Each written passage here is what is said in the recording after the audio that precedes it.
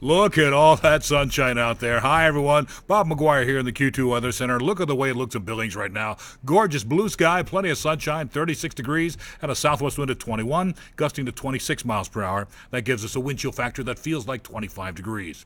And as you can see over at Red Lodge Mountain, it's a great day up there. Plenty of sunshine, plenty of uh, snow, and plenty of folks enjoying it out there. Meanwhile, look what's coming our way. You can see some cloudy skies rolling in from Canada. So far, no snow, not much in the way of rain or snow, but just some cloudy skies. It's kind of foreshadowing of the next system that's getting ready to move in, probably sometime on Wednesday or Thursday. Our forecast model pretty much bears that out. All we're going to see just cloudy skies rolling through today, and then you'll notice that next batch of moisture starts moving in Wednesday afternoon, and it really probably doesn't get to the Billings area until after 6 p.m., but it does contain some snow and it does contain some colder temperatures all moving in Wednesday night and Thursday. Threat board starting to fill up. We've got uh, blowing snow, uh, and so because of that, we have a blizzard warning and winter weather advisory for the northwest corner of the state, and then also there's surface from Harlowton all the way down to Cody. That's causing winds gusting to 60 to 70 miles per hour today, and we have some wind warnings and advisories because of that. Forecast model shows that we'll probably pick up one and a quarter inch of snow out of this next storm by Friday morning, maybe three inches at Livingston, almost an inch and a half in Miles City. Sheridan could pick up maybe about an inch of snow out of this.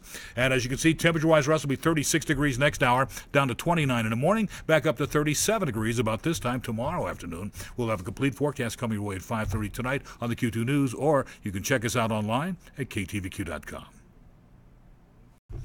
Look at all that sunshine out there. Hi, everyone. Bob McGuire here in the Q2 Weather Center. Look at the way it looks in Billings right now. Gorgeous blue sky, plenty of sunshine, 36 degrees, and a southwest wind at 21, gusting to 26 miles per hour. That gives us a wind chill factor that feels like 25 degrees.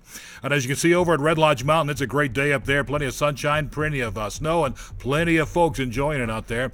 Meanwhile, look what's coming our way. You can see some cloudy skies rolling in from Canada. So far, no snow, not much in the way of rain or snow, but just some cloudy skies. It's kind of foreshadowing of the next system that's getting ready to move in, probably sometime on Wednesday or Thursday. Our forecast model pretty much bears that out. All we're going to see just cloudy skies rolling through today, and then you'll notice that next batch of moisture starts moving in Wednesday afternoon, and it really probably doesn't get to the Billings area until after 6 p.m., but it does contain some snow and it does contain some colder temperatures all moving in Wednesday night and Thursday. Threat board starting to fill up. We've got uh, blowing snow, uh, and so because of that, we have a blizzard warning and winter weather advisory for the northwest corner of the state, and then also there's surface trough from Harlowton all the way down to Cody. That's causing winds gusting to 60 to 70 miles per hour today, and we have some wind warnings and advisories because of that. Forecast model shows that we'll probably pick up one and a quarter inch of snow out of this next storm by Friday morning, maybe three inches at Livingston, almost an inch and a half in Miles City. Sheridan could pick up maybe about an inch of snow out of this. And as you can see, temperature wise, Russ will be 36 degrees next hour, down to 29 in the morning, back up to 37 degrees about this time tomorrow afternoon. We'll have a complete forecast coming your way at 5:30 tonight on the Q2 News, or you can check us out online at ktvq.com.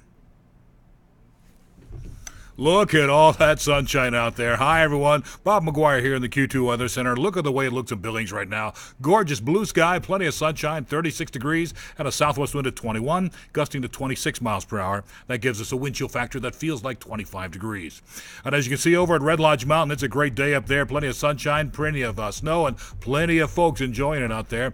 Meanwhile, look what's coming our way. You can see some cloudy skies rolling in from Canada. So far, no snow, not much in the way of rain or snow, but just some cloudy skies. It's kind of foreshadowing of the next system that's getting ready to move in, probably sometime on Wednesday or Thursday. Our forecast model pretty much bears that out. All we're going to see just cloudy skies rolling through today, and then you'll notice that next batch of moisture starts moving in Wednesday afternoon, and it really probably doesn't get to the Billings area until after 6 p.m., but it does contain some snow and it does contain some colder temperatures all moving in Wednesday night and Thursday. Threat board starting to fill up. We've got uh, blowing snow, uh, and so because of that, we have a blizzard warning and winter weather advisory for the northwest corner of the state, and then also there's surface trough from Harlowton all the way down to Cody. That's causing winds gusting to 60 to 70 miles per hour today, and we have some wind warnings and advisories because of that. Forecast model shows that we'll probably pick up one and a quarter inch of snow out of this next storm by Friday morning, maybe three inches at Livingston, almost an inch and a half in Miles City. Sheridan could pick up maybe about an inch of snow out of this.